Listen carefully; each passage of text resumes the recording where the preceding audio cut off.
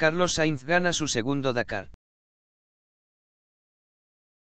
Carlos Sainz y Lucas Cruz han conseguido proclamarse hoy ganadores del Rally Dakar a los mandos de su Peugeot 3008 DKR, un hito que consiguen por segunda vez tras haberlo logrado en 2010.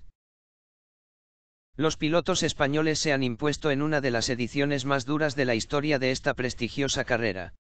Han sido 14 etapas de extrema dificultad que Carlos, Lucas y el Peugeot 3008 DKR Maxi, una creación que ha sido puesta a punto por el propio Carlos hasta el último detalle, han conseguido superar de manera sublime, alcanzando el triunfo con una sólida ventaja al frente de la clasificación final, superando en 43 minutos a Nasser al Toyota, y en una hora 16 minutos a Giniel de Villars, Toyota.